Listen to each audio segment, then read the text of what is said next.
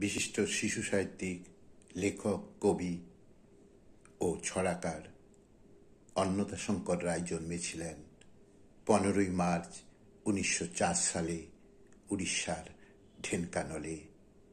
প্রয়াত হন আঠাশে অক্টোবর দু দুই সালে।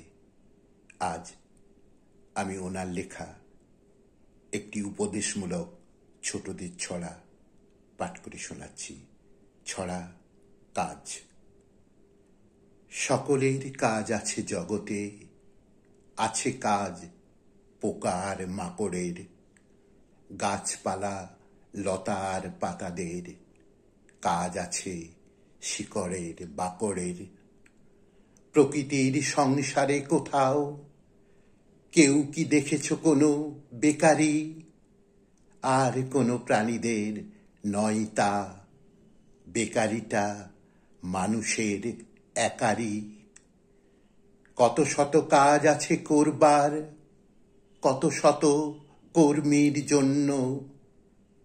কর্ম না করে কেউ খাবে না অপরের অর্জিত অন্ন।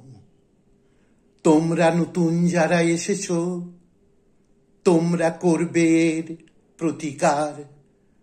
অকর্মা যেন কেউ না থাকে। কর্মেতে সকলেরই অধিকার।